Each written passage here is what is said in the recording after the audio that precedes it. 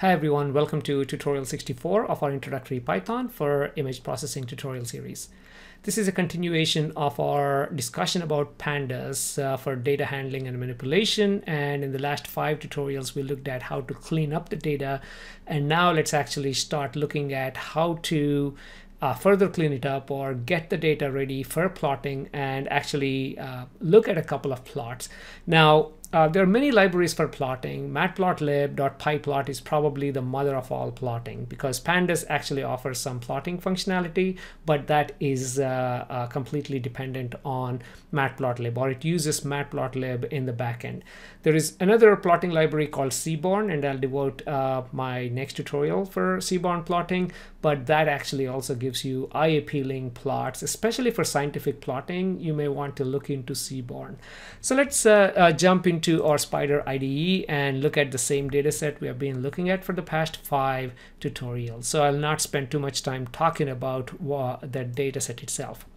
Okay, so we're going to import pandas and we are going to read CSV and read this uh, file. Again, our data frame has seven columns and uh, uh, uh, the, the one of the columns is called uh, set, you know, or unnamed. You have multiple sets in here and uh, image number and the manual column has numbers and some missing values. So we may have to fill that because for plotting that can be very important. Otherwise you see these disconnects. And uh, let's go ahead and drop this manual to column because it's got all not in numbers over there. Okay, so that's initial cleanup and we talked about it already. So let's go ahead and uh, uh, plot, start plotting it. So first of all, what shall we plot? Okay, uh, let's actually look at the manual column within our data frame and plot a histogram of it because in the manual we have numbers uh, that actually go from 80 to 120 and then these are all the number of nuclei that we counted in a given image okay? So this gives us an idea of how many images have like 80s and how many have like 100s and so on. So histogram plot again I, hope I don't have to explain what histogram is. So uh, let's go ahead and uh, uh, uh plot it. And the way you do that is again select the column dot plot and what kind of plot do you want? In this case, we want a histogram plot. Okay, go ahead and look at the uh, documentation, uh, pandas documentation for plotting, but uh, this gives you a quick idea. And let's go ahead and add a title to it calling manual count. And how many bins do we want to divide this histogram into? Let's just say 30. And then uh, what size uh, do you want for this figure? Let's do 12 by 10 so we can kind of see it in a nice way. Uh, on my Spyder, I selected uh, under my tools and preferences to do uh, do not do uh, inline plotting, which means it actually gives me the plots in a separate window up here. So, but in for yours, you may be seeing plots down here. Doesn't matter, should convey the point. So let's go ahead and plot this. And if we switch to plots, there you go. So this is the plot we just uh, obtained of uh, the manual counts. Like I said, the values go from 80 to 120 and how many 80s, you know, apparently four images have uh, 80 and what gives, uh, looks like the highest frequency is for 105 nuclei. Eight images, have, uh, you know, show 105 nuclei. So that's a, quick uh, plotting there. Now, uh, again, other tricks, if you just want to work with set one, right? I mean, here we have a whole bunch of images uh, because uh, we are looking at all images set one, set two, set three, set four. Each set has 25 images, so total of 100. What if we only want to work with one set? So let's delete uh, our variables and start here. Again, we are reading it and I'm renaming. This is something I do for all exercises from now on.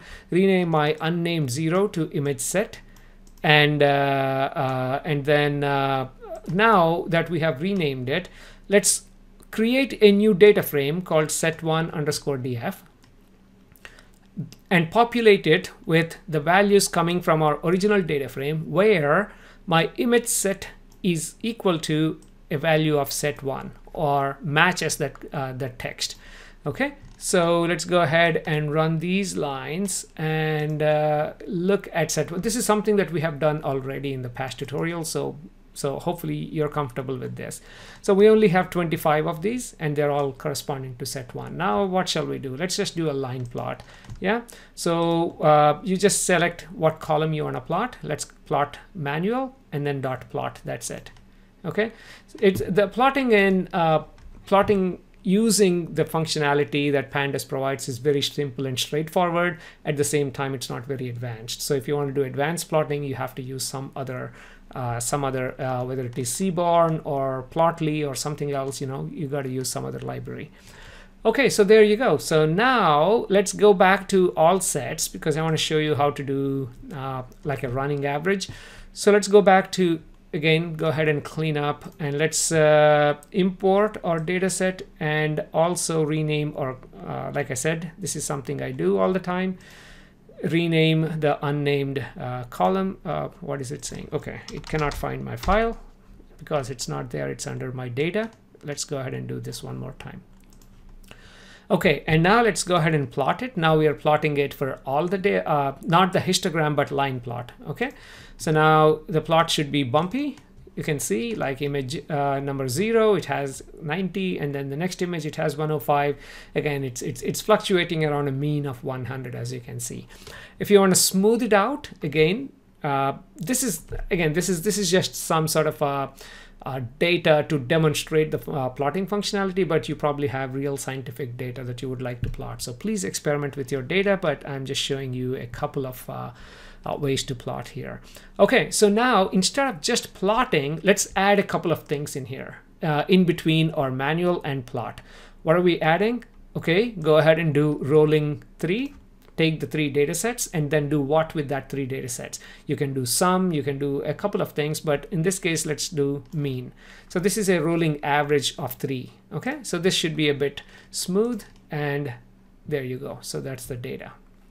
Uh, that's that's your smooth uh, right there. Okay, uh, now uh, let's jump into uh, the statistics and uh, we already talked about statistics before when you do the describe. Just a second, let me clean the screen again. Uh, sorry about this. Let's clean the screen. And uh, there's a reason why we are doing this. Okay, so uh, again, these three are pretty much standard like what we have been doing. Again, sorry for this. I should have checked the code once before the video, but fine. Uh, okay, so there you go. So we uh, are reading our, uh, our CSV file and we are renaming the column. Now let's actually do describe my manual column. So when it describes it, it's telling me what the mean is, what the count, total number of count. We have 94 of them because six of those are, have no values, right? Now let's go ahead and uh, do the plot here. I mean, uh, go ahead and plot this in a scatter way okay now go ahead and look at this plot. Okay what we are trying to do here is compare our manual with auto. Okay so plot our manual with auto. And I'll get back to this I'll get back to this uh, uh, describing the statistics part in a minute. Uh, we'll get to the part where we want to look at what the mean value is and anything above mean we'll call it high anything below mean we'll call it low okay i just i just did a couple of steps here so sorry about that slight detour but let's get back to our uh, plotting of scatter here between manual and auto uh, calculations here. So again, what are we plotting here? We are plotting the number of uh, nuclei counted in a manual way versus one of the automated ways. Okay, uh, why are we doing that? Well, why do you plot? To see if there is any correlation. There seems to be some correlation between these two, right? Whenever we calculate, we found 100, uh, it automated way found uh, 80 or something, okay? And why is it finding less than what manual count is? This is uh, threshold setting number one here, okay? So intentionally over uh, under thresholding so we are picking up a few of these. Okay, in any case, you visually can see that there seems to be some sort of a relationship. Now you can go ahead and fit a straight line between these two if this were your real data. Okay, now coming down to uh, the part where we want to do uh, separate this as low and high. Again, let me go ahead and uh, clean things up. And in the last tutorial, we have used a lambda function to actually do some sort of a math with the columns. Now let's actually define a real function and then just apply to one of the columns. And it's very, very easy as you'll see in a minute. Okay, let's do these three or four lines like we normally do. Again, we are reading our data set and we are changing the column for unnamed 0 to image set. Okay, that part we nailed it. And the next, uh, next part, I'm defining a function called cell count where it takes an input and then it returns either a value of low or, or high or a text of low or high. Okay, so if x is less than or equal to 100, y 100, that's why we did more describe, you know, the mean value seems to be 100. So I'm just saying, okay, 100 seems to be average. Anything that's above 100, I'm calling it high count. Below 100, I'm calling it low count. Okay, so that's what this function does. Very little function, but in reality, in real life, you'll have advanced functions to manipulate your data. Okay, so now we want to send the entire manual column, right? I mean, we have this manual column. We want to send this through this uh, uh, function, or in other words, we want to apply this function to this manual column and add an additional column that either says low or high based on the value here. Okay, that's our task now. So the way you do that is again very simple, one simple line, df cell count index Remember, we don't have any column called cell count index. So when you define something, uh, that means add that column to the existing data frame. That's what that means. Okay, add this column and fill with what?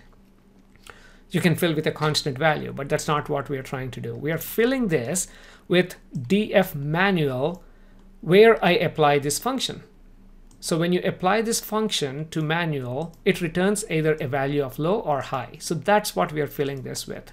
Okay, so I hope that makes sense. So let's go ahead and run these lines of code and have a quick look at the first five uh, rows. As you can see, it added a new column and it's filling it with low, low, high, and uh, low and low. Okay, so you have 104 counts there. So it's returning a high. Okay, so uh, now if you want, uh, for uh, if you want, you can export this new data frame into a CSV file. Again, we already looked at that in the last couple of tutorials. Now, let's, uh, uh, again, this is another way of looking at, okay, let's uh, look at 20 to 30 uh, rows and then see if uh, things make sense, okay? And all I'm trying to do here is, again, uh, 20 to 30 when you use look, it's looking at the rows 20 to 30. And then what do you want to look at in terms of columns? If you don't provide anything, then you'll see everything. But I just want to look at these two columns. So that's what it's printing out here. By the way, instead of print, I could have uh, saved this into a new data frame if that means something to you. Okay, let's end this uh, tutorial by doing something interesting. Now that we separated this as low and high, let's do statistics for low and high. And a good way of doing that is using a box plot, right? I mean, you may have done box plot uh, before. A box plot, again, it shows you your mean and your, I think, 95th percentiles. And then uh, now I want to separate them by cell count index, which is low and high, which is this column. When you say by, it's dividing this, if I have low, high, and medium, it shows three of these. Since I only have low and high, it shows two. Let's go ahead and look at it so it makes sense. Okay, now let's open the plot and there you go. That's our box plot where it's showing me high and low. If you had medium, it would have added one more uh, here. So by is basically into how many uh, uh, into how many of these x-axis, uh, you know, uh, uh, uh, how should I say, regions, you know, you would like to separate this. But anyway, so the high has a mean of about 105 to 1, I guess like it looks like 107. And uh, you can see, uh, again, this is a typical box plot. And my low has a mean of uh, about 89 or so right there. Okay, so this uh, I think uh, covers at least the core components of uh, what pandas.plot actually offers. But like I mentioned, pandas.plot is fine if you want to do some of these. But if you want to add some, uh, add some color, add some uh, visual appealing, you know, to your plots or make certain plots uh, uh, easy, then Seaborn is a great library. And then again, I'll cover the basics of Seaborn in the next tutorial. So please stay tuned. Until then, please subscribe to this channel. Thank you very much.